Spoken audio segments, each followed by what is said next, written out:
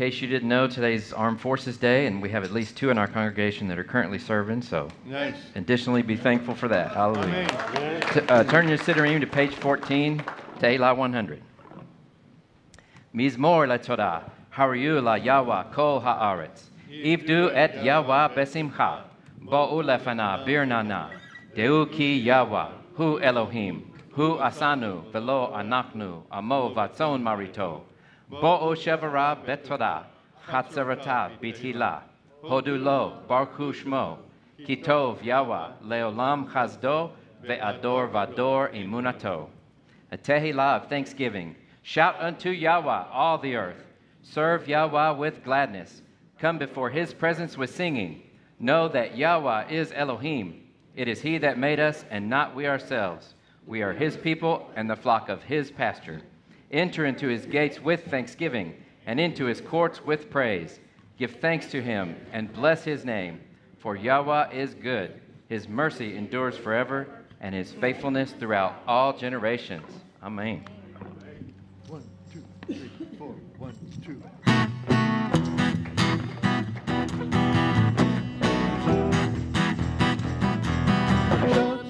Joy and victory resound in the tent of the righteous of the Lord.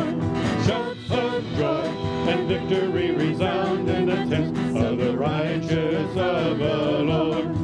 The Lord's right hand has done mighty things for us. The Lord's right hand is lifted high. The Lord's right hand has done mighty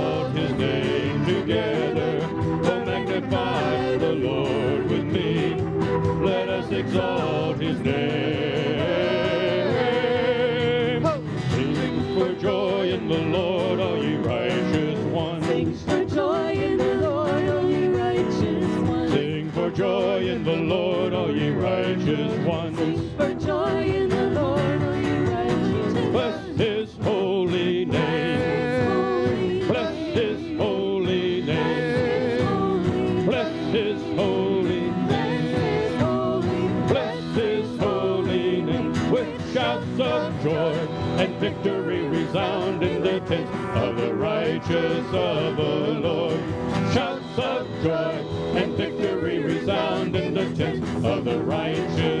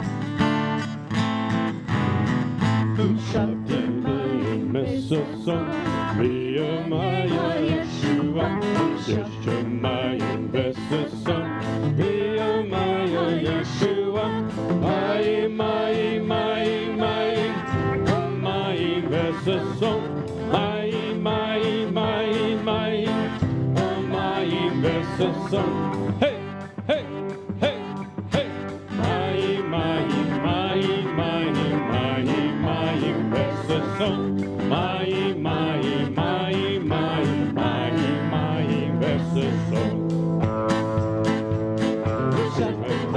Besson, Nehemiah, Yeshua,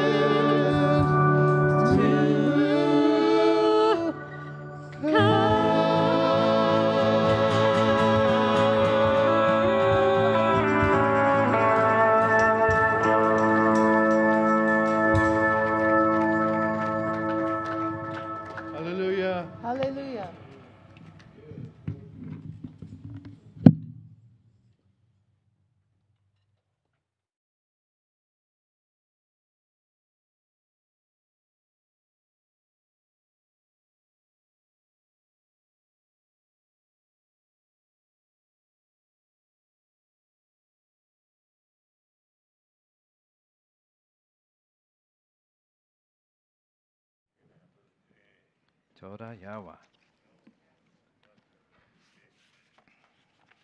Turn your Siddurim to page 15, Justification.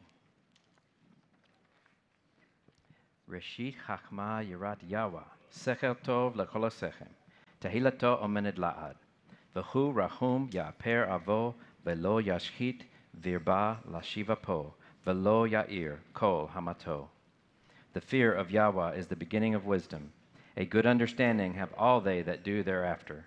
His praise endures forever, and he, being merciful, forgives iniquity and does not destroy. Frequently he turns away his anger and does not stir up all his wrath. If we say we have fellowship with him and walk in darkness, we lie and do not do the truth. But if we walk in the light, as he is in the light, we have fellowship one with another, and the blood of Yeshua HaMashiach, his Son, cleanses us from all sin. If we confess our sins, he is faithful and just to forgive our sins and to cleanse us from all unrighteousness. Amen. Sanctification. Kadesh otam ba'amatecha devarecha emet. Bechol libi darashtecha al tashgeni mimitzvotecha. Sanctify them by your truth. Your word is truth. With my whole heart have I sought you. Oh, let me not err from your commandments. Vayechulu. Vayechulu hashemayim v'haaretz v'chal teva'am. V'chal Elohim bayom hashvi'i. Malakto asher asa. Vayishbot bayom hashvi'i. Michal malakto asher asa. Veyevarek Elohim et yom hashvi'i. Vayekadesh oto. Kivo shavat. Michal malakto asher bara Elohim la'asot. And the heavens and the earth were finished, and all the host of them. And on the seventh day Elohim finished his work which he had made, and he rested on the seventh day from all his work which he had made. And Elohim blessed the seventh day and hallowed it, because that in it he rested from all his work which Elohim in creating had made. Veshamru. Veshamru v'nei Yisrael et Hashabat, la'asot et Hashabat ledor tam brit olam. B'nei uvein b'nei Yisrael ot hi leolam.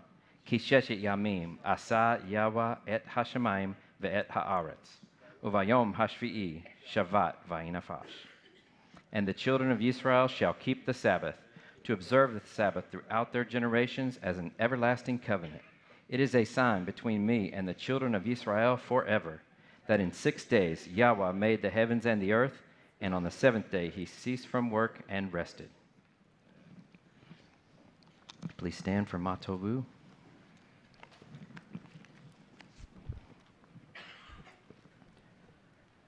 Matovu.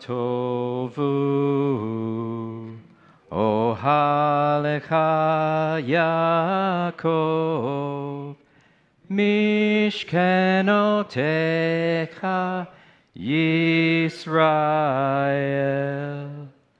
Vani berov chazdecha avovetecha. Eshtakave el hecha chadshecha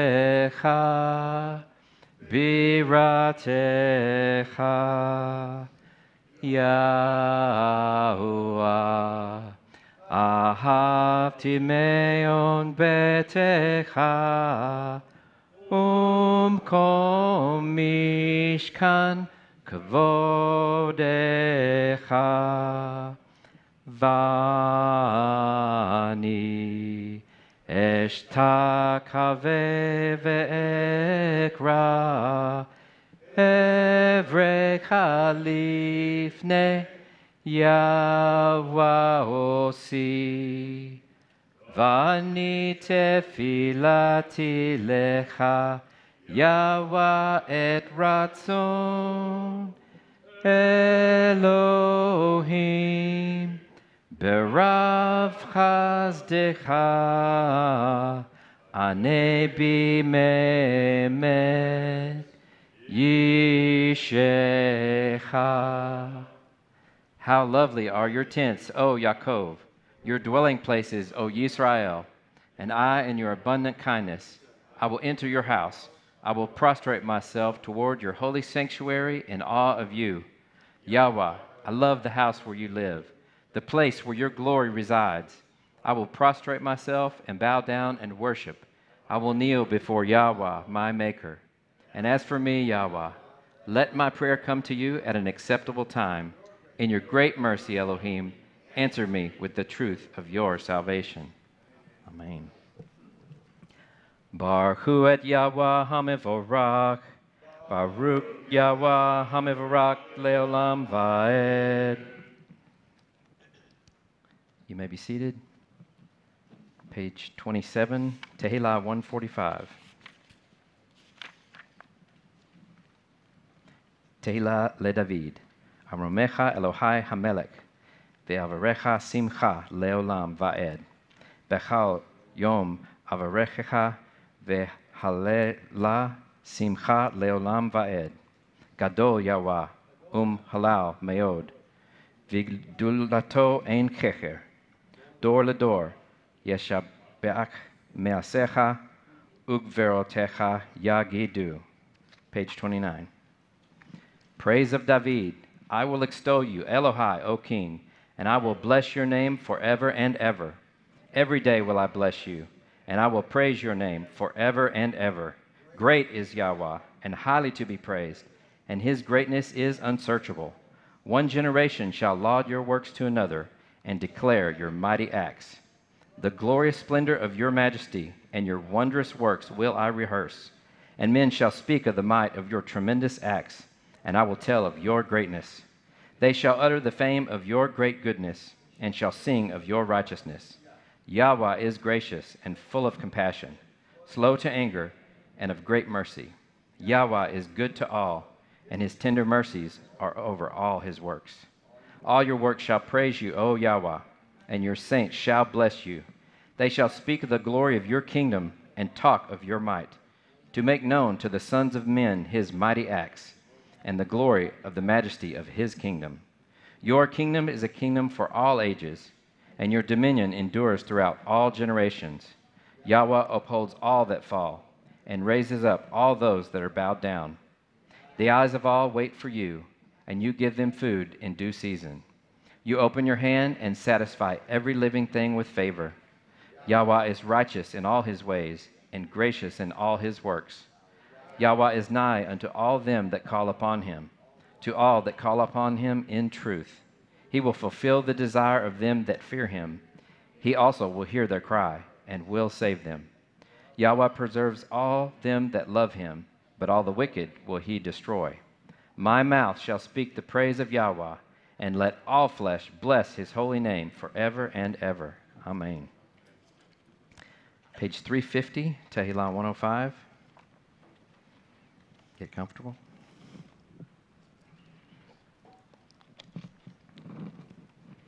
Oh, give thanks unto Yahweh. Call upon his name. Make known his doings among the peoples. Sing unto him. Sing praises unto him. Speak of all his marvelous works. Glory in his holy name. Let the heart of them rejoice that seek Yahweh. Seek Yahweh and his strength. Seek his face continually. Remember his marvelous works that he has done his wonders, and the judgments of his mouth. O you seed of Abraham, his servant, you children of Yaakov, his chosen ones. He is Yahweh, Eloheinu, his judgments are in all the earth.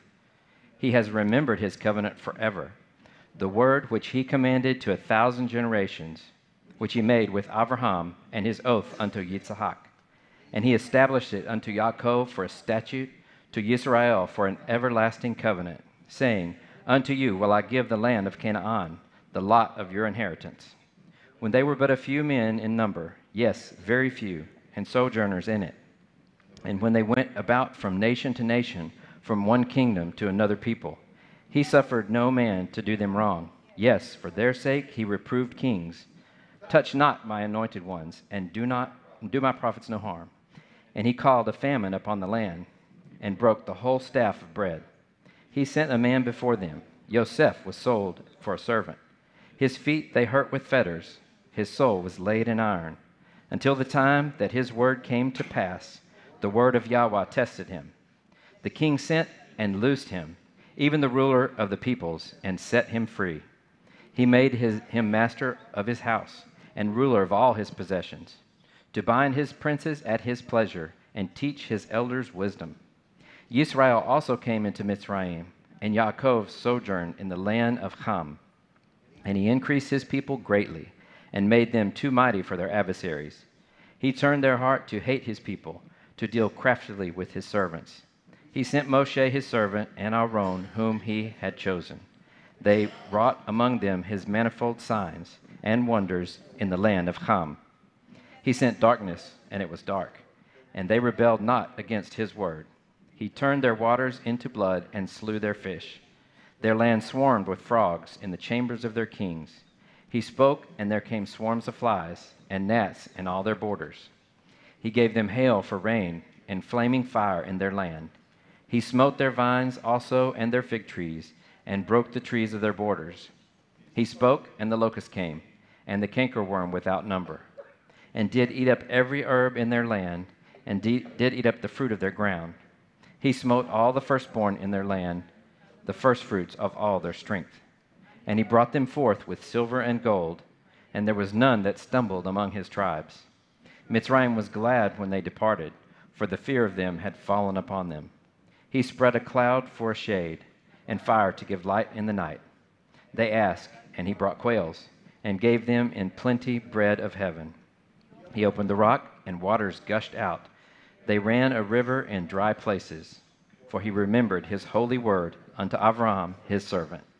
And he brought forth his people with joy, his chosen ones with singing, and he gave them the lands of the nations, and they took the labor of the peoples in possession, that they might keep his statutes and observe his laws.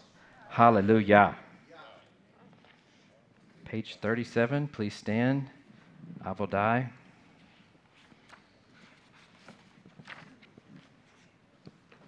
Ritzei Yahweh Eloheinu be'amecha Yisrael ve'tlifiltam ve'hashev et ha'avodah lidvir betecha.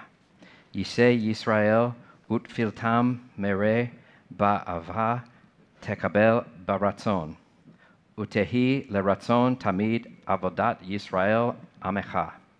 Vetezena enenu beshuvcha letzion berachamim. Barukata Yahweh hamachzir shekinato letzion. Be favorable, Yahweh, our Elohim, toward your people, Yisrael, and their prayer, and restore the most holy service of your house. Accept in love the offerings and prayers of Yisrael. And may the service of your people, Yisrael, always be favorable to you. May our eyes behold your return to Zion in mercy. Blessed are you, O Yahweh, who restores his presence to Zion. Amen. You may be seated. Turn to page 42, Ein Kael. Ein Kael Yishrun, Rokev, Shemayim, Bezrecha, Uv Ga'avoto, Shechakim. Page 43. There is none like the Elohim of Yeshurun, riding through the heavens to help you, riding on the clouds, clouds in his majesty. The Elohim of old is a dwelling place with everlasting arms beneath. He expelled the enemy before you and said, Destroy. She, so Yisrael lives in security. The fountain of Yaakov is alone in a grand of, land of grain and new wine, where the skies drip with dew. Happy are you, Yisrael. Who is like you, a people saved by Yahweh, your defender helping you, and your sword of triumph? Your enemies will cringe before you, but you will trample, trample down their high places. Page 55. Mashiach HaEved HaYehudim. Ba'omer ani sheyashua HaMashiach sheret et hamilah leman emet HaElohim. Kidei lechem et havatacha asher la'avot. For I say that Yeshua HaMashiach ministered to the Jews for the sake of the truth of Elohim in order to confirm the promise to the fathers, and in order to show his mercy by causing the Gentiles to glorify Elohim, as it is written in the Tanakh. Because of this, I will acknowledge you among the Gentiles and sing praise to your name. And again it says, Gentiles rejoice with his people. And again, praise Yahweh, all Gentiles. Let all peoples praise him. And again, Yeshayahu says, The root of Yeshai will come, he who arises to rule Gentiles. Gentiles will put their hope in him. May Elohim, the source of hope, fill you completely with joy and shalom as you continue trusting, so that by the power of the Ruach HaKodesh you may overflow with hope. Amen. Please stand and face the Torah, Yeshua, page 58. Baruch atah Yahweh Eloheinu melech haolam, asher natan lanu et derek ha-Yeshua b'Mashiach Yeshua. Blessed are you, Yahweh our Elohim, King of the universe, who has given us the way of salvation in Messiah Yeshua. He walked among us, filled with the Ruach, the only one who ever fulfilled your Torah. He healed the sick and raised the dead. The multitudes of the people sought his touch. He taught as no man taught. With authority he brought forth the treasures of the Torah. How the children sought him. The lepers he touched and made clean. How the despised and outcasts found love and release from their sin. How the hypocrites feared him, whose words uncovered their sin. Despised and rejected, acquainted with grief, he bore the sins of Israel. All we like sheep have gone astray, turned everyone to his own way. Our iniquities were laid upon the king, the sins of the world, his burden to bear. He rose from the dead and opened the way to life everlasting. Praise his name. We are in him. His Ruach empowers. New life is ours with joy and peace. Blessed are you, O Yahweh our Elohim, King of the universe, who has given us Messiah Yeshua, our King. Baruch Yahweh, Eloheinu, melech haolam, asher natan lanu Mashiach Yeshua, Malkeinu.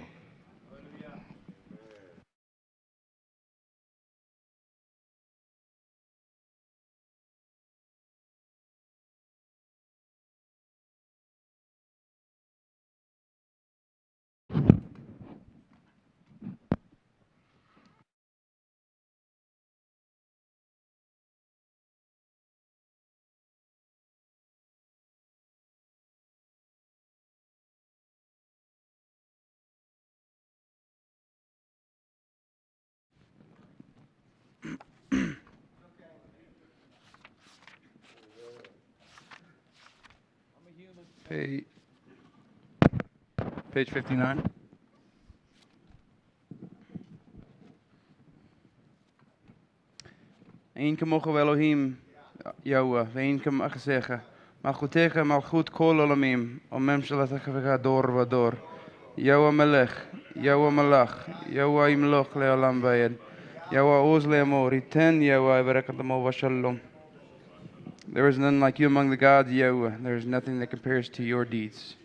Your kingdom is a kingdom that endures for all eternity, and your sovereignty extends throughout all generations.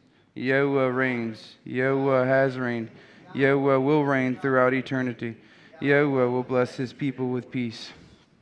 Av harkamim hativa v'tzinecha et Zion. Tivnei chamot Yerushalayim. Kivacha leval batachnu melech al ram varisa. Adon olamim. Father of compassion, deal kindly with Zion according to your will. We build the walls of Yerushalayim, for we trust in you alone, O King, revered and honored Elohim, Master over the entire universe. Vayahi bin Vayomer Moshe, Kumma Veanusu Kimitzion Tetze Torah, Urvar Merushalayim. Baruch Shenatan Torah Le'amor Israel. When the ark went forward, Moshe would say, Arise, O Yahweh, let your enemies be scattered. Let those who hate you flee from before you. For from Zion shall go forth the Torah and the word of Yahweh from Jerusalem. Blessed is he who in holiness gave the Torah to his people, Israel. Ki mitzion tetze Torah. Ki mitzion tetze Torah Udavarawa Yerushalayim Baruch Shenatan Torah Torah Baruch Shenatan Torah Torah. Leamo Israel Bigdushato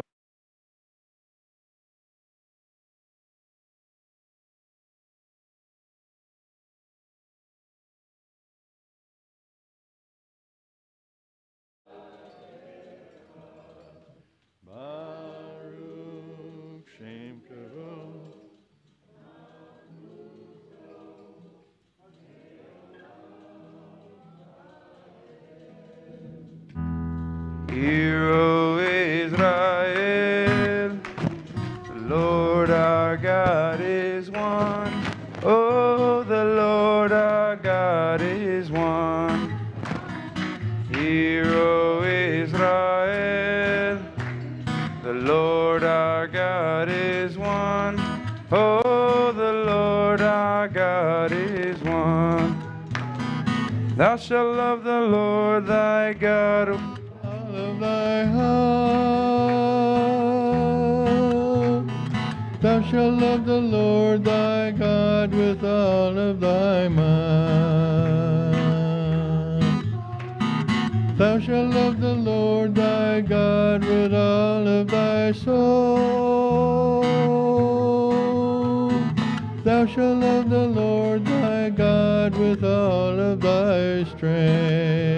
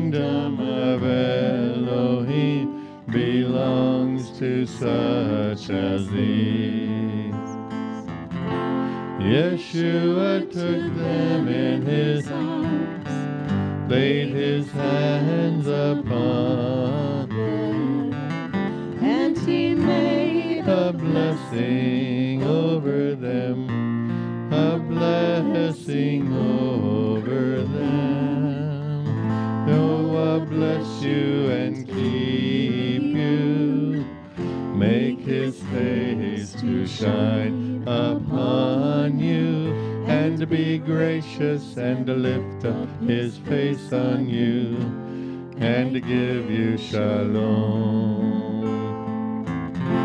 Yeshua took them in his arms, laid his hands upon them, and he made a blessing over them, a blessing over. Yahweh bless you and keep you, make his face to shine upon you, and be gracious and lift up his face on you, and give you shalom. And be gracious and lift up his face on you, and give you shalom.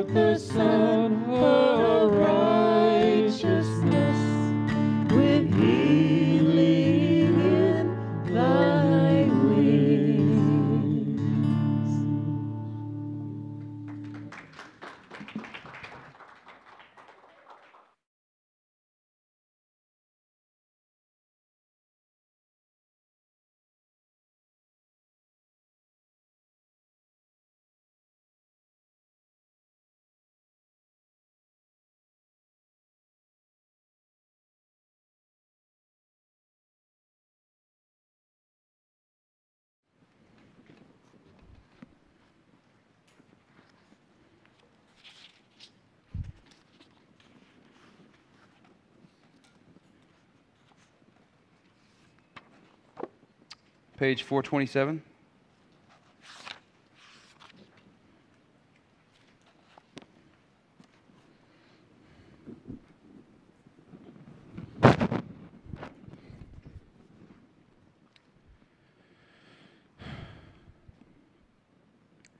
Shema Israel, Yahweh Eloheinu, Yahweh Echad, Ve'ahavta et Yahweh Elohecha, בכל לבבך ובכל נפשך ובכל מאודיך והיו הדברים האלה אשר אנוכי מצבך היום על לבביך ושיננתם לבניך ודיברת בם בשבתך, בפפתך ובלבתך ודרך, ובשכבך ובחמך, וקשרתם להיות על ידיך והיו לטטפות בין עיניך, וכתבתם על מזוזות ביתך ובשעריך, ואהבת לרעך כמוך.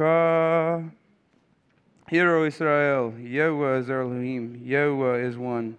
And you are to love Yahweh, your Elohim, with all your heart, all your soul, and all your strength. These words which I command you today are to be upon your heart. You are to teach them carefully to your children. you are to talk about them when you sit at home, when you're traveling on the road, when you lie down, when you rise up. You shall tie them unto your hand. They shall be frontlets between your eyes. You shall write them on the door frames of your house and on your gates. You shall love your neighbor as yourself. Amen. Page 61.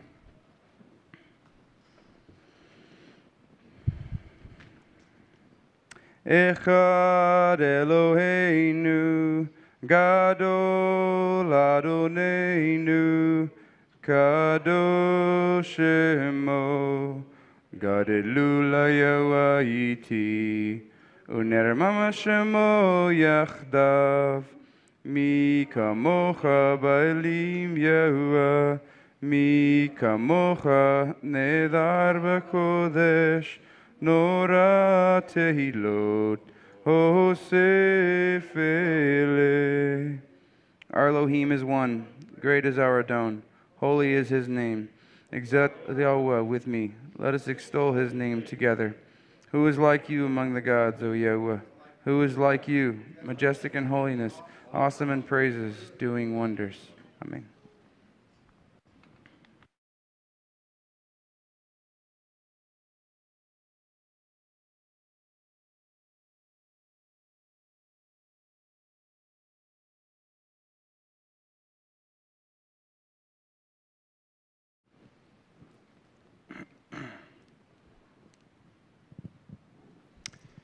Misha barach avotenu Abraham ויצחק ויעקב הוא יברך את מיכאל שעלה לכבוד המקום ולכבוד התורה הקדוש ברוך הוא ישמרךו ויצילךו מכל זרע וצוחה ומכל מנ- נגע ומחלה וישלח ברכה והצלחה בכל מעשה ידיו אמן.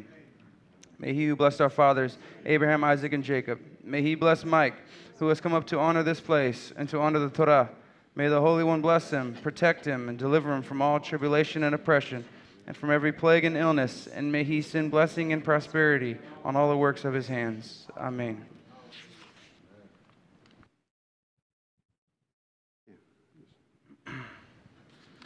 Baruch et Yehovah hamevorach, Baruch Yehovah hamevorach leolam vayed, Baruch ata Yehovah Eloheinu melech haolam, Asher barchar banu mikahamim, Venatan nanu et Torato, Baruch ata Yehovah noten haTorah. Amen.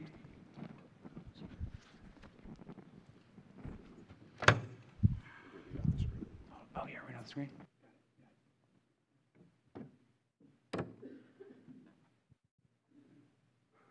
Torah portion today of Vayikra um, 23 or 26, 3 through 6. If you walk in my chukot and keep my mitzvot and do them, then I will give your rains in their season, and the land shall yield her produce, and the trees of the field shall yield their fruit. And your threshing shall reach unto the vintage, and the vintage shall reach unto the sowing time. and you shall eat your bread until you have enough and dwell in your land safely. And I will give shalom in the land, and you shall lie down, and none shall make you afraid.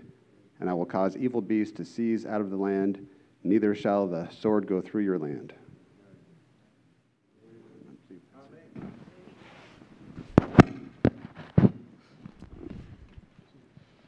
Baruch Yahuwah, Eloheinu melech haolam, asher natan lanu emet, v'chaye olam nota betochenu. Baruch atah Yahuwah, noten haTorah.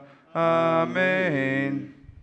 Blessed are you, O Yahweh, our Elohim, King of the universe, who selected good prophets, delighting in their words which were spoken truthfully. Blessed are you, O Yahweh, who chose the Torah, your servant Moshe, your people Israel, and the prophets of truth and righteousness. Posh- portion, Yirmiyahu 17, 5 through 8. Thus says Yahweh Cursed is the man that trusts in man, and makes flesh his arm, and whose heart departs from Yahweh. For he shall be like a tamarisk in the desert, and shall not see when good comes, but shall inhabit the parched places in the wilderness, a salt land and not inhabited. Blessed is the man that trusts in Yahweh, and whose trust Yahweh is. For he shall be as a tree planted by the waters, that spreads out its roots by the river, and shall not see when heat comes, but its foliage shall be luxuriant, and shall not be anxious in the year of drought, neither shall cease from yielding fruit.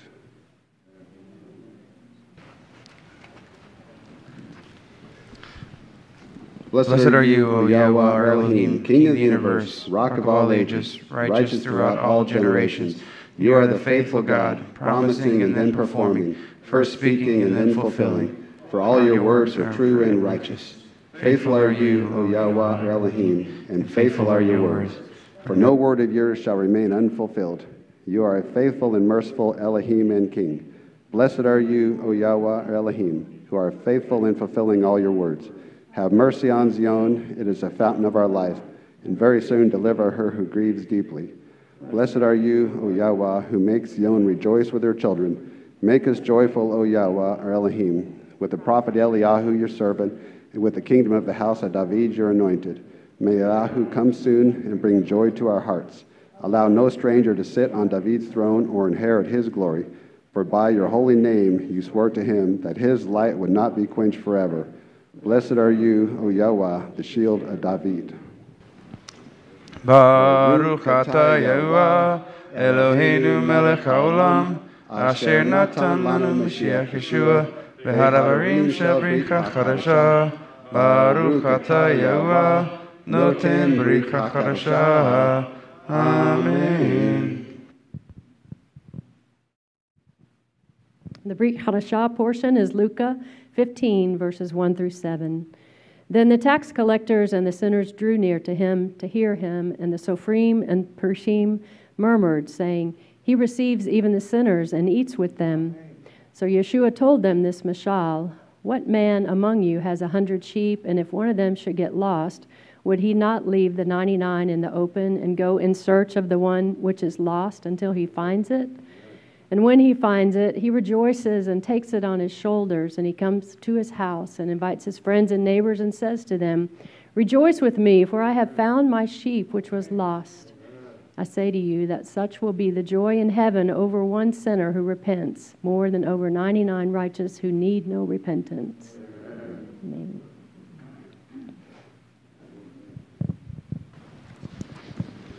Baruch atah Eloheinu melech haolam, asher natan lanu devar emet, v'chaye olam nota b'tochenu. Baruch atah Yahuwah, noten brika chadasha. Amen. This is the Torah which Moshe placed before the children of Israel. It is in accord with the command of Yahweh by the hand of Moshe. A tree of life it is those who take hold of it, and blessed are the ones who support it. Its ways are ways of pleasantness, and all its paths are peace. Long life is in its right hand, in its left are riches and honor. Yahweh was pleased for the sake of his righteousness to render the Torah great and glorious.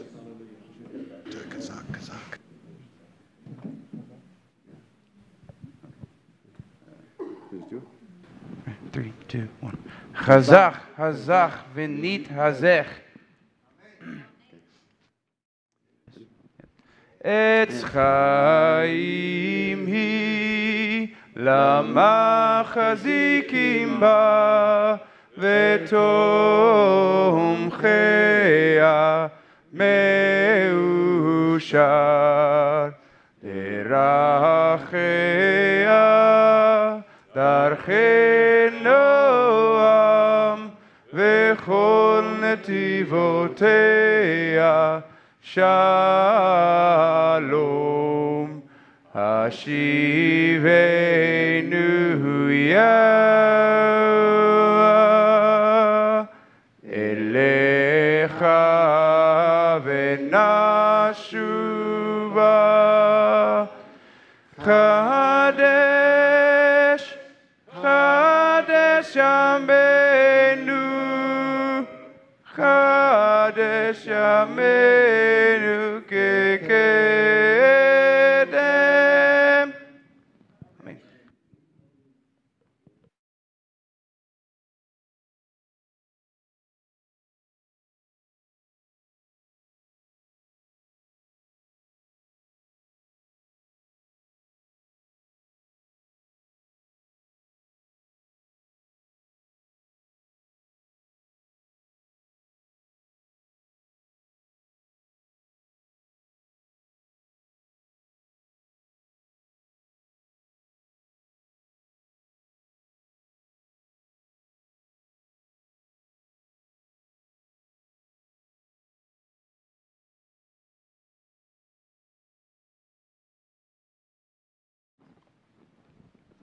Shabbat Shalom.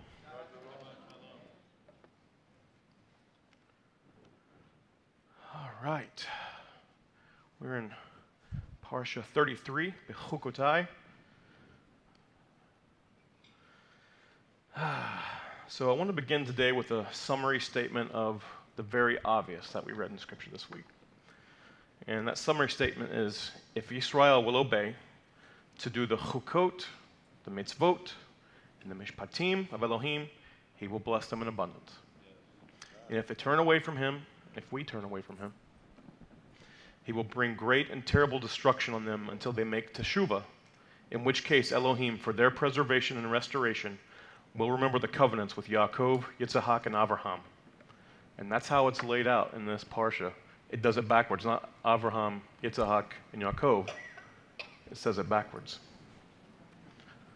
I'm not going to get into that, but that's just an interesting little tidbit. Uh, we- We might, I think we're going to read that passage later on, but he does mention it backwards. The abundant blessing is clear in verses 1 through 13 of chapter 26, whereas the warnings of destruction or curses are laid out very clearly in verses 14 through 41 with the promise of restoration halfway through verse 40, 41, uh, read through verse 45. Uh, I'm not really going to focus on 27 today. I'm going to largely just kind of hang out in 26.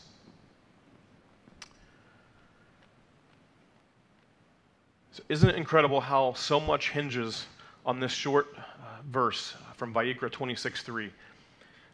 Im bechukotai telechu ve'et mitzvotai tishmeru ve'asitem otam. And that's verse 3. If you walk in my hukot and keep my mitzvot and do them. And so much about what we're going to read hinges on that little verse. So, what I really want to do today is highlight each blessing and the curse of Abba's, of Abba's covenant with Israel in the portion. Uh, but first, let's refamiliarize ourselves with the terms hukot, mitzvot, and mishpatim. Does anybody ever kind of forget what they are? I do because Hebrew is not my first language. And so I have to constantly remind myself what's what. Okay, we, we get all three of those terms in this portion. Um, the Devar renders hukot here uh, as bechukotai, uh, which is in my, uh, in my statutes, in my ordinances, uh, in my hukot. Um, So a so the, a chok uh, is a statute, an ordinance, a limit, an enactment, or something that's prescribed. It's a law given without any reason or justification sometimes. A statute or an ordinance are essentially the same thing. They are decrees or requirements or boundaries set by Elohim. They can be civil decrees or enactments from Elohim, um, something that's prescribed for us to do. In, in, essence, they describe how to live in obedience. Okay? Um, for instance, the statute to not kindle a fire on Shabbat. We're not really told why not to. Uh, but that's a boundary or limit set of what can't be done. Okay? Or there are statutes regarding like what can and can't be done in a state of uncleanness or uh, women and their monthly cycle. There's certain things that are just, he says, you know, he puts boundaries and limits, okay? Mitzvot are commandments. That's the easy one to remember of all these, right? The mitzvah, the command. There are orders or charges to be followed or observed. For example, the Ten Devarim, which are, are they're high level overviews of what must be done or can't be done. Um, statutes and ordinances can be based off of those. All statutes are a type of command, but not all commands are statutes. It's kind of a hard one to understand. Um, the statutes are all the different ways or the how to's or the shall nots of keeping the commands. The mishpat or the mishpatim are uh, judgments. Judgments tell us how to handle situations that arise between each other and between this people. That's how I understand it from Scripture. so we've gone, we've, we've rehashed the, the, the hukot, the mitzvot, and the mishpatim, okay? So what we're going to see in the text here is almost a mirror image in regard to the blessings and the corresponding curses, okay? There's going to be a blessing, and you're almost going to see something very similar, a curse that basically undoes the blessing, in a sense. so the first one I want to look at is uh, what I've read already, verse 3. If you walk in my chukot and keep my mitzvot and do them. And I read the Hebrew, but I'll do it again. Em bechukotai telechu ve'et mitzvotai tismeru be'asitem otam. All right, so, so the word to walk here is telechu, which comes from, anybody know? Halach. Halach, which is where halacha is derived from. Telechu. So to walk in his statutes or commandments means to actively do them. If you're walking, you're active. If you're in his commandments doing them, you are actively doing them. This is why the Shema is so important. We must first hear to be able to do so.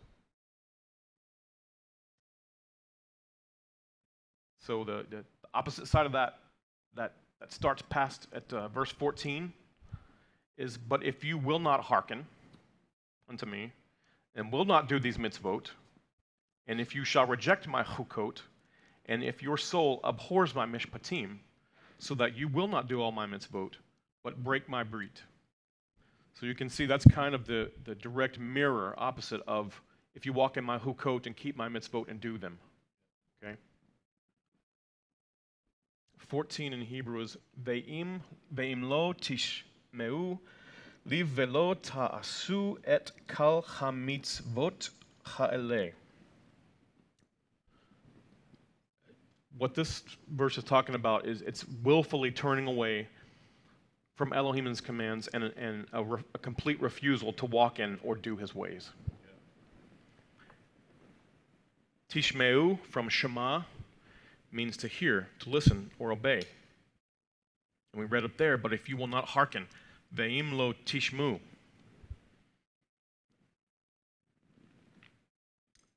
In 15 it says, and if you shall reject my hukot, and if your soul abhors my mishpatim, that's, uh, that's a very strong word, abhor. Um, The Hebrew word here is tim asu, from the root ma'as. And it means to reject or refuse or despise because of utter contempt, disgust, or disdain. Um, there's been a lot that I abhor lately, just in the news. And I, in the past two weeks, it's been um, there's been utter contempt from my part from some of the things I'm hearing about what's happening in our country, um, especially in regard to abortion. Um, I, I, you know, you've heard the old statement. You know, if if, if God doesn't judge us, He's going to have to apologize to apologize to Sodom and Amorah. That's how I feel. I, I, you know, we had. I watched a clip of a woman saying it's okay to kill children when they're two, three, four, five, six years old. Shocking that it is okay, it's a woman's choice still. I just, I abhor the thought. How, how you know, how, how, how have we gotten so astray? And it's because we will not hearken un, unto him. We will not do all his mitzvot, and we reject his hukot, and our soul abhors his mishpatim. That's how we've gotten here.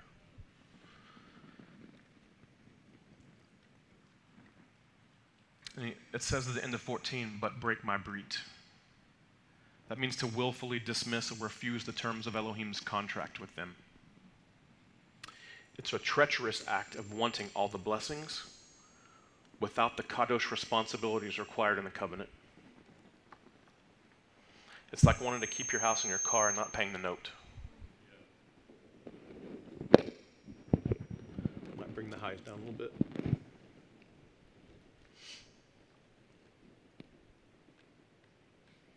All right, let's move on to 26:4. Then I will give your rains in their season, and the land shall yield her produce, and the trees of the field shall yield their fruit. The rains were critical to the fertility required to miraculously, miraculously support Israel, especially so that the land would produce the abundance in the preparation years before the Shemitah or Yovel years.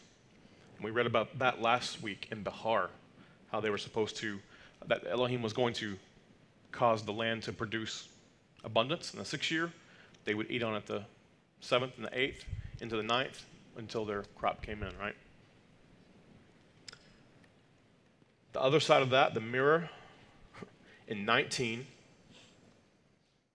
he says, I will break the pride of your power, and I will make your heaven as iron, and your earth as brass. And your strength shall be spent in vain, for your land shall not yield her produce, neither shall the trees of the land yield their fruit. So, do you see the mirror there? Verse 4 with 19. So the pride of your power here, according to Rashi, is their pride in the place where the kavod or the presence of Elohim would dwell, uh, which is the Mishkan or the Beit Hamikdash. And interestingly, let's listen to Rashi's commentary on these verses. He says, uh, this is in reference to the temple, for thus does it state in, in Yehezkel 24:21, Behold, I will profane my sanctuary, the excellency of your strength. So going back to 19 and verse 26, and I will break the pride of your power. So Rashi links that with Yehezkel 24:21. He goes on, he says, uh, th- talking about the, stopping the rain and making their, their heavens as iron, the earth as brass, he says, this threat is even uh, more severe than that of Moshe, because there it says in Devarim 28:23, and thy heaven that is over thy head shall be copper, and the earth that is under thee shall be iron. And this implies that the heaven will at last exude, uh, at least exude moisture, which will give some humidity, just as the copper exudes moisture, whilst the earth will not exude just as iron does not exude. And so it will keep its fruit in good condition, since it will not be too humid. Here, however, the scripture threatens uh, that the heaven will not exude moisture, just as iron does not exude, and there will therefore be drought in the world, whilst the earth will exude or be too humid, just as copper sweats and it will consequently make its fruit perish. Whew. That's a mouthful. There's some interesting wisdom there. Um, so, verse 30 is also the, the other side of the blessing of verse 4. Uh, verse 30 said, And I will destroy your high places and cut down your sun pillars and cast your carcasses upon the carcasses of your idols, and my soul shall abhor you. Right? So the, the, the blessing part of this, uh, you know, this section here is that he would give the rains, the land would produce, and the trees of the field would produce. The second mirrored, uh, uh, the second part of that, the curse scriptures, I will destroy your high places and cut down your sun pillars and cast your carcasses upon the carcasses of your idols, and my soul shall abhor you. The high places and the sun pillars are the substitutions they would make in place of the Mishkan or the Beit HaMikdash. Indeed. So think about that term cast your carcasses upon the carcasses of your idols. This atrocity is dying in an utter state of indignity and uncleanness. In death, they were to be left exposed and cast upon unclean idols along with other dead. So we're talking about heaps of carcasses to be consumed by wild animals and the natural elements. This, in no small way, points to the first, first death taking place without the deliverance from the second death. This is the opposite of what we read about in Bereshit 25 8 and 25 17 and 35 29 and 49 29 and 33, where the patriarchs are what?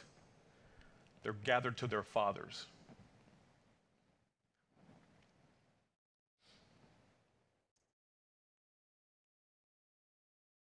Let's see. I had to ask Deacon this morning the, the Hebrew name for um, Ecclesiastes. Kohelet. Yes, Kohelet.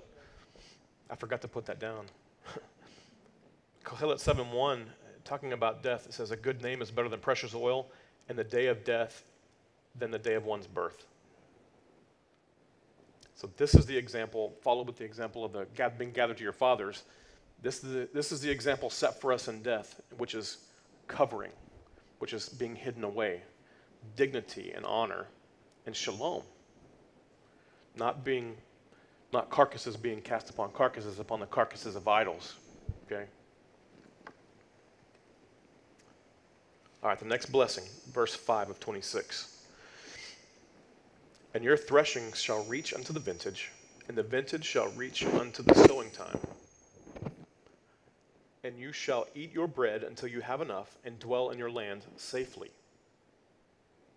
I really like that part there. Dwell in your land safely. That that speaks to me as a, a father and a husband.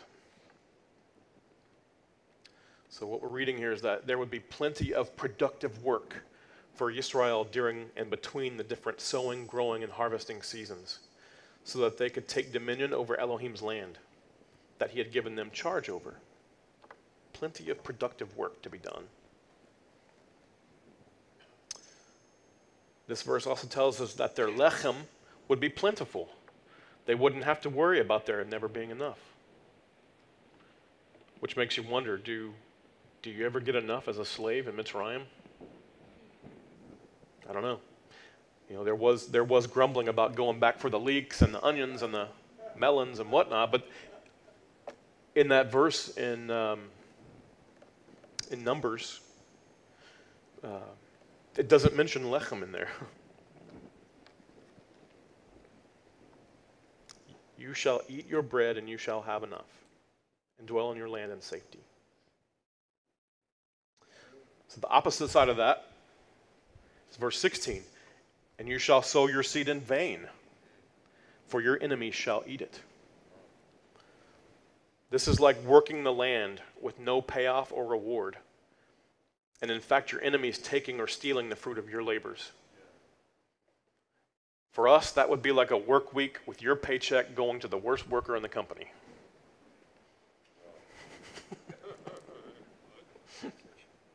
Except worse than that, right? That's what we can, you know, that's what makes sense to us in the here and now, but actually what they, uh, what was to come upon them was would be much worse. You know, I'm, I'm not trying to make light of that, but it's hard work not getting, not seeing the fruit of your labors. That's what it's talking about. Sowing your seed in vain, for your enemy shall eat it. Another curse to that blessing is in verse 26. It says, When I break your staff of bread, and we read something very similar to that in Psalm 105 this morning. When I break your staff of bread, ten women shall bake your bread in one oven, and they shall deliver your bread again by weight, and you shall eat and not be satisfied. So he tells them first in five, You shall eat your bread until you have enough. But if they forget his mitzvot, nope, you shall eat and not be satisfied. This is talking about hunger from lack. A truly fearful place for parents to be in, right?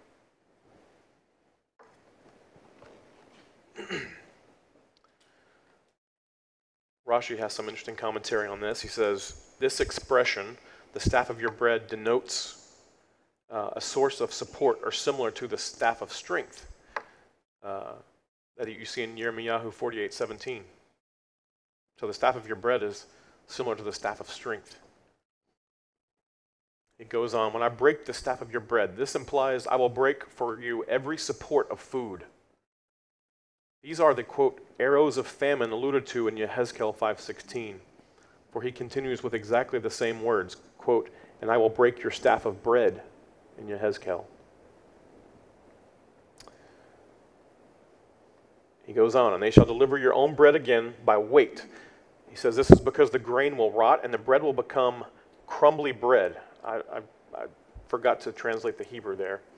But he says uh, the bread will rot and become crumbly bread and break into pieces in the oven so that they, the women, will deliberately weigh the pieces in order to divide them between themselves.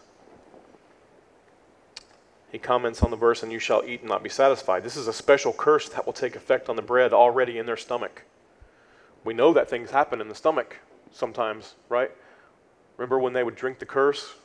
They talked about their thigh would shrivel or waste away.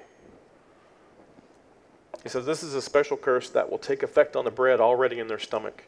Thus, you have seven punishments alluded to in verse 24 uh, the attacking armies, the siege, the plague, the destruction of food supply, a lack of wood, uh, crumbly your cursed bread, and a curse in the intestines. That's, that's how he reckons it. Let's go to the blessing in verse 6. And I will give shalom in the land, and you shall lie down, and none shall make you afraid. That is a huge blessing, right? And I will cause evil beasts to cease out of the land, neither shall the sword go through your land. What a blessing to have shalom in the land with the promise of the absence of war uh, in the land from invaders or thieves, or robbers, or murderers, right? Abba is promising them complete protection from any known or unknown enemy. And he's promising them protection from dangerous wild animals. I'll read it again. And I will give shalom in the land, and you shall lie down, and none shall make you afraid. And I will cause evil beasts to cease out of the land, neither shall the sword go through your land. So, what's the opposite curse to that in the, in the scripture? It's in verse 16. I also will do this unto you. I will appoint terror over you, even consumption and fever, that shall make the eyes to fail and the soul to languish. And the second part of that, and I will send the beast of the field among you, which shall rob you of your children, and destroy your cattle, and make you few in number, and your ways shall become desolate. So he says, I will appoint terror. That terror is the opposite of shalom.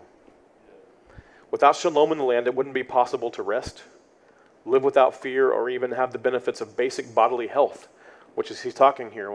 He, mentions consumption, which is like disease or wasting away. He, uh, Elohim talks about fever here, uh, which is obviously sickness. He mentions uh, the eyes failing, that's blindness. And he talks about the soul languishing. What is that?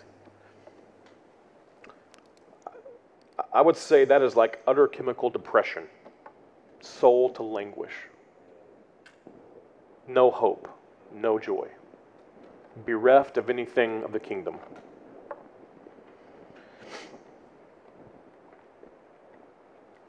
He talks about the curse of beasts coming into the field, which shall rob you of your children, destroy your cattle. He says, so, so here is, this is the removal of protection from dangerous wild animals. I've personally never really faced a wild animal in the wild, I, I was around some wild boars sometime out in the canyons and in the, in the Texas Panhandle, but I've never really come face to face with one. No lions and tigers or bears. All's been well on that front up to this point. But here we see him promising to remove the protection from dangerous wild animals. As parents, this is also terrifying the thought of losing your children to death by wild animals. It makes me think of the distress that Yaakov was put through when his son said he was killed by a wild beast, showing him the bloody robe that, had, that they had torn themselves and doused in lamb's or goat's blood. What did that do to Yaakov for the next 15 years, 20 years? That sounds like soul to languish a languishing soul. So we even get a hint of it in Yaakov's life.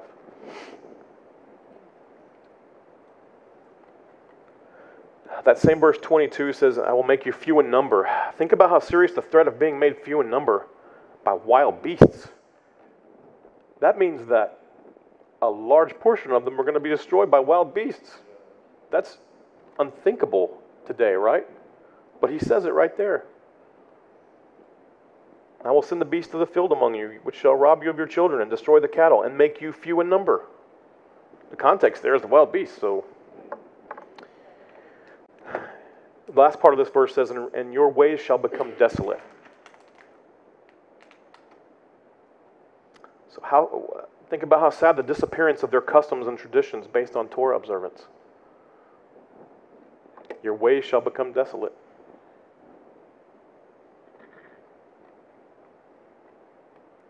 Verse 7, back to the blessings. And you shall chase your enemies, and they shall fall before you by the sword. And five of you shall chase a hundred, and a hundred of you shall chase ten thousand. And your enemies shall fall before you by the sword. Your enemies shall fall before you by the sword. Remember, this is if, if they will continue in the covenant. This is the promise for territorial dominance and sovereignty over the land given to them by Elohim. This is also the promise that their military would execute complete victory over their enemies, even in light of small numbers. You know, being outnumbered. It didn't matter if they were outnumbered in Israel. Imagine going to war and every time knowing without a doubt that you would overcome and they would be the ones that would fall by the sword rather than your brethren. Amen. So the, the, the unfortunate other side of that verse from 7 is 17. And I will set my face against you, and you shall be smitten before your enemies. They that hate you shall rule over you, and you shall flee when none pursues you. This is fearful because Elohim is telling them that he will be completely opposed to their well being in every way.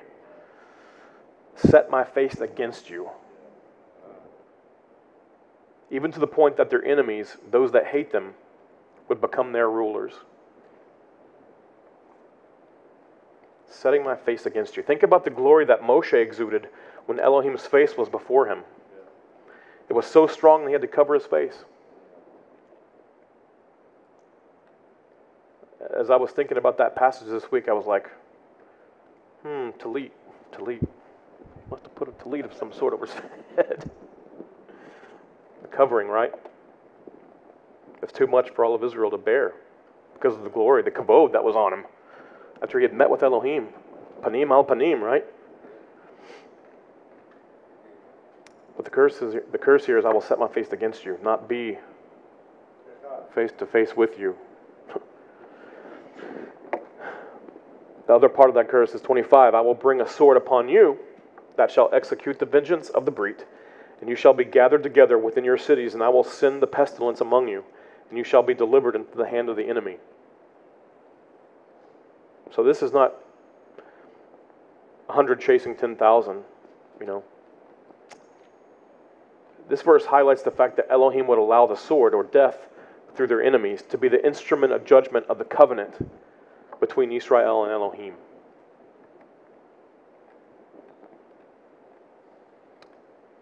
And 36, all, verse 36 also piggybacks off of 17 and 25. uh, as in, in opposition to 7.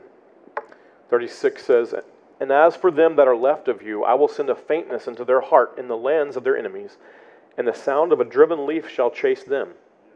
I, the plan was for, you know, 100 to chase 10,000. He's saying here, the sound of a driven leaf shall chase them.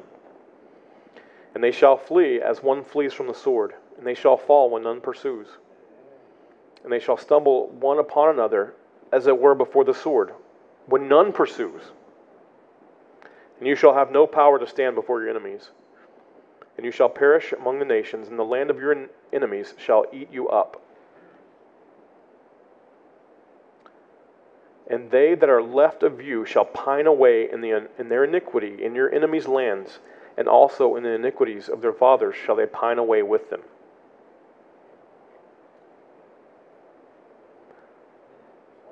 That doesn't sound like, I mean, that's his face set upon uh, against them again, right? Again, we see here that Abba allows them to implode as a Kadosh nation. They're driven away from the land to perish and pine away in the sinfulness of the nations to which they've dri- they're driven. Yeah, it's happened.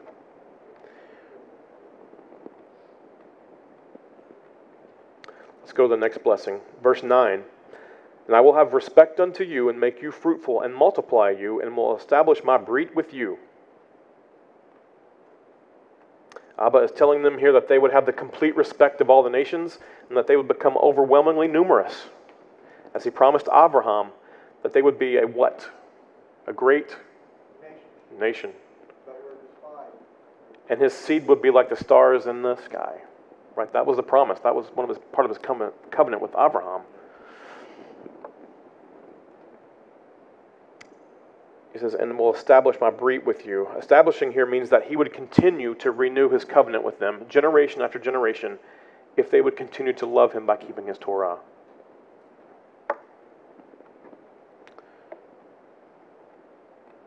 I've, I've highlighted verse 22 already, but it's also pertinent here in respect to verse 9. And I will send the beast of the field among you, which shall rob you of your children and destroy your cattle, and make you few in number. Here he says he's going to make them fruitful and multiply you. But the, the other side of not keeping the covenant is making you few in number. All right, let's look at the uh, seventh, seventh blessing. Verse 10. And you shall eat old store long kept, and you shall bring forth the old from before the new. So, this is another promise that Abba would, provide the abundance necessary to get them through the Shemitah and Yovel years. Um, like, like I said before, we looked at in Behar uh, last week. Elohim was going to make possible the, the miraculous preservation of harvested and stored food. I would love to not have to go to HEB every week. That place is a madhouse. It's a madhouse.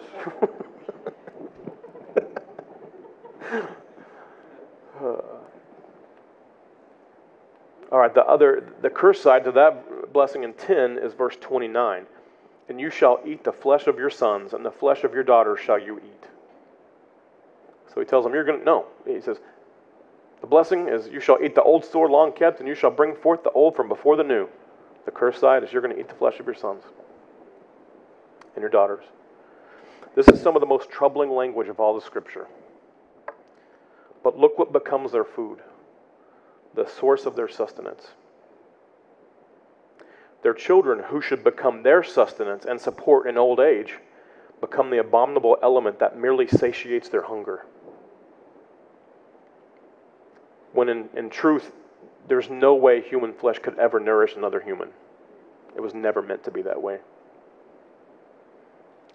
What is so distressing to me about this passage is that Abba had promised to provide for them the abundance of the land with even the poor among them able to enjoy the bounty of Elohim's blessing. If you remember, um, Scripture tells us that the edges of the field and the vineyards aren't to be gleaned, or uh, to be harvested. It's so that the poor amongst them can go and glean for themselves. So he had even provision in mind for those that were poor, merciful, kind. So when we were reading this that verse this week in our family in Torah time, um, Avi could barely take hearing it. He was holding his hands up, petitioning me not to read. You know, wanted me to stop. He didn't want he did not want me to teach the weight and the fulfillment of this verse. He's holding up his right hand. Stop. Trying to cover his hands with his his ears with his hands. The reason I bring that up is because he understood the horror of what Elohim was saying here.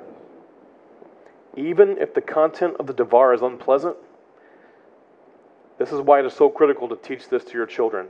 It's because they can and do understand the weight of Elohim's word. Let's look at the eighth blessing here in verse 11. And I will set my Mishkan among you, and my soul shall not abhor you. And I will walk among you and be your Elohim, and you shall be my people.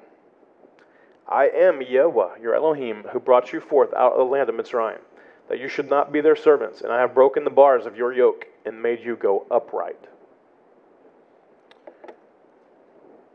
I will set my Mishkan among you.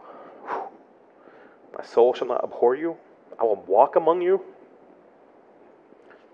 I, I was trying to think like what to write about the how. What, what do I bring forth from this? You know, it's uh, there's really nothing I can say to do justice to this passage. Those few lines, it's, it's, I can't. I hope it happens soon for us and for all of Israel and us as part of Israel. This is talking about the very palpable presence of Elohim dwelling amongst his people, who he has made a nation, having taken them out of slavery and cruel bondage, and promising to walk amongst them. Made you go upright. That's talking about walking in the freedom, in righteousness, whereas they were formerly slaves with yokes on their back. Now he was going to allow them to be upright. And the walking among them part sounds a lot like Gan Eden. Walk him, he walks. He was walking in the cool of the garden in the day, cool of the day in the garden. That was his plan then. That's what he wanted to do with his creation. That's what he's going to do one day.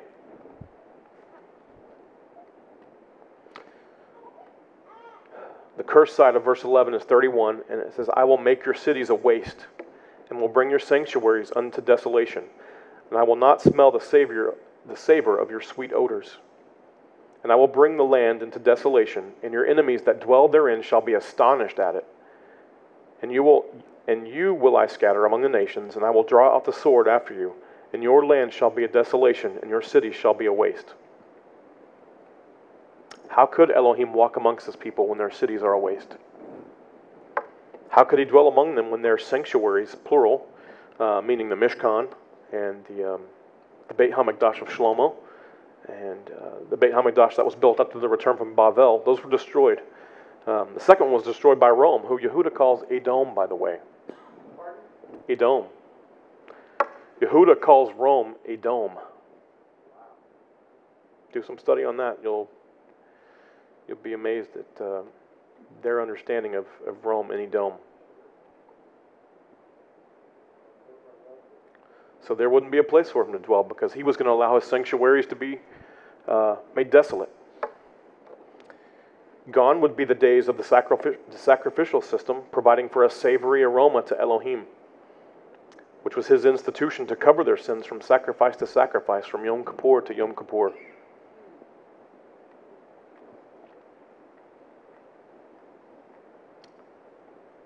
Their cities, their land, their sanctuaries, what was purposed for beauty and set apartness to Elohim, would now be purposed for death, destruction, and diaspora to the point that even their enemies would go about in astonishment at the wrath that they could observe in the land.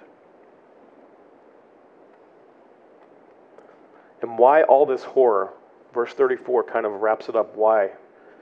Um, and, and I think I think a lot of chapter 25 feeds into this as well about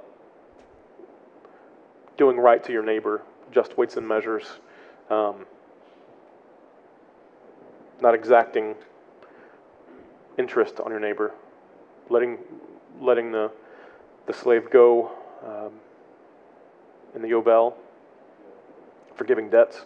But, but really, this passage is kind of summed up here. It says in verse 34, 20, 26, 34, Then shall the land be paid her Sabbaths.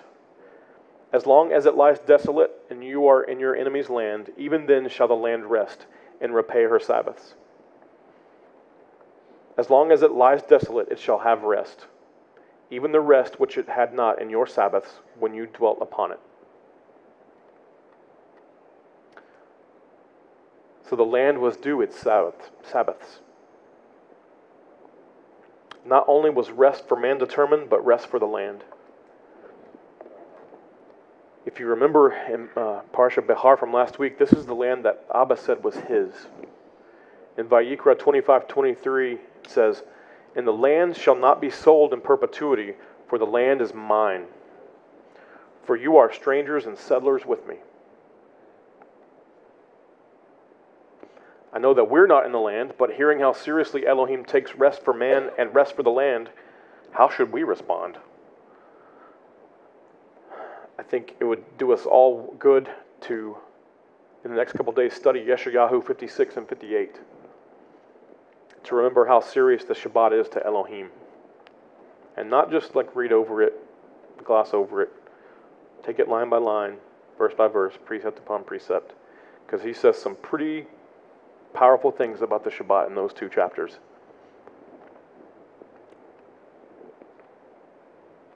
So, is this where he leaves his people? In destruction, in diaspora, with no covenant to guard? Absolutely not. What profanity does not leave them to themselves? Because he remembers his covenant with the forefathers. Verse 40. And we should rejoice over this and they shall confess their iniquity. What does that sound like? Teshuv. Right on.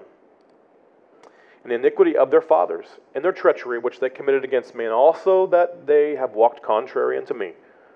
We've done the exact same thing, maybe even worse. I also will walk contrary unto them and bring them into the land of their enemies. If then perchance their uncircumcised heart is humbled, and they then be paid the punishment of their iniquity, then will I remember my brit with Yaakov, and my brit with Yitzhak, and also my brit with Abraham. Will I remember? That's the. That's where he lists it backwards. To me, that's. I need to study that more. There's, I know there's something to it. I just. I didn't have the time to get into that, but really interesting. Um, middle of verse 42, and I will remember the land. End of verse 42. I will remember the land, his land. He hasn't forgotten it. He wants to do blessing unto the land. It's coming, it's going to be done. For the land shall lie forsaken without them, and shall be paid her Sabbaths, while she lies desolate without them. And they shall be paid the punishment of their iniquity, because even because they rejected my mishpatim, and their soul abhorred my hukot, and yet for all that, when they are in the land of their enemies, I will not reject them. Neither will I abhor them to destroy them utterly, and to break my brit with them. For I am Yahweh their Elohim. What if he would allow? What if he would have allowed them to, to be utterly destroyed? Not one Yehudi left. That would have made Elohim a liar.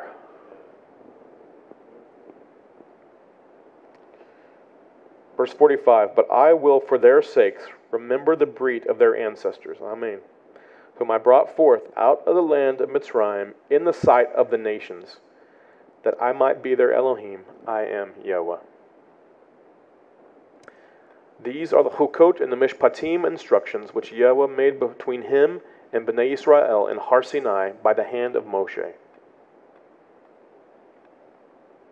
So, in closing today, I'd like to read again Vayikra 26 3 and contrast that with the words of our rabbi, our great one, Yeshua, from Yochanan 14.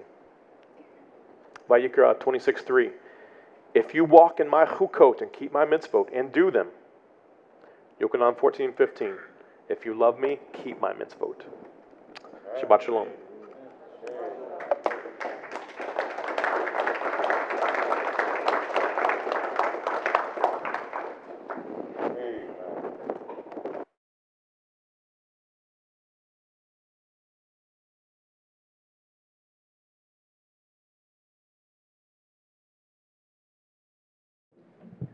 Turn your Siddur to page 67. Alenu leshabeach ladon hakol, latet gedula lotzer bershit. Page 68. It is our duty to praise the Master of all, to ascribe greatness to the molder of creation. For he has not made us like the nations of the lands, and has not placed us like families of the earth. He has not assigned our portion like theirs, nor our fate like all their crowds. For they bow down to vanity and emptiness, and pray to a God who does not save.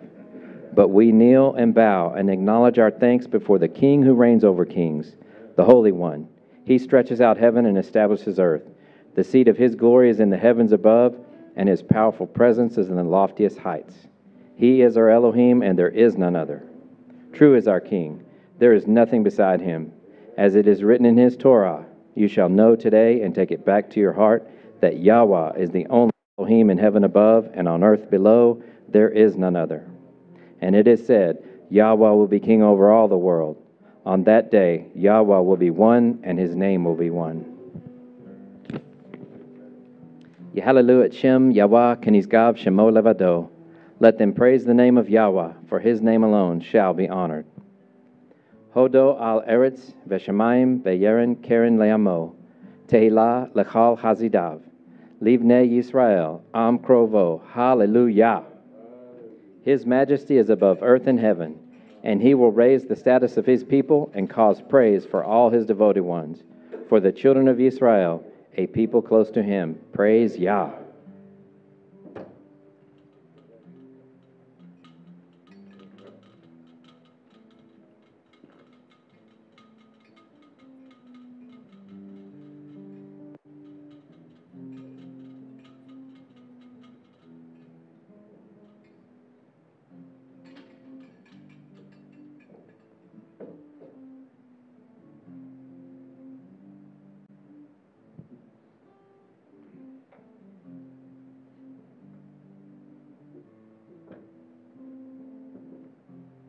Uvnocho Yomar, Shuva Yahweh, Revot Alfei Yisrael, Kuma Yahweh, Lemunatecha, Ata Veron Uzecha, Kehonecha Yertzu Tzedek, Bechasidecha Yerananu, Baruv David Abdecha, Al Tashev Peni Meshichecha, Ki Lekach Tov Nati, Lachem Torati, Al Ta'azovu.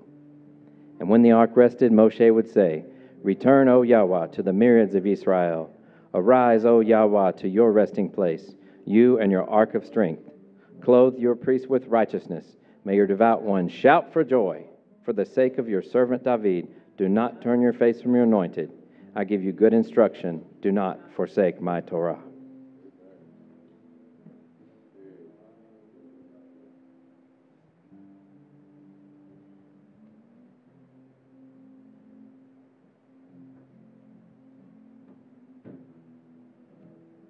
Baruch atah Eloheinu melech haolam, asher natan hadavar chachai b'mashiach Yeshua. Blessed are you, O Yahweh Elohim, who has given us the living word in Messiah Yeshua. Amen.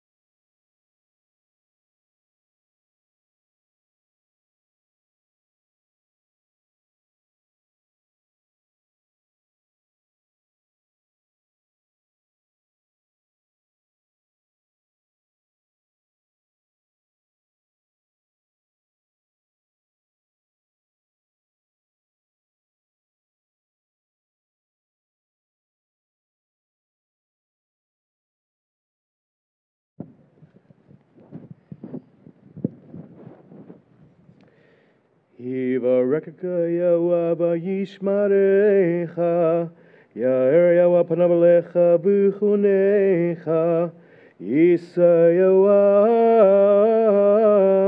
panav alecha v'yasem lecha Shalom May Yahweh bless you and keep you. May Yahweh make his face to shine upon you and be gracious unto you. May Yahweh lift up his countenance upon you and establish for you Shalom. Yeshua HaMashiach. Amen. Shabbat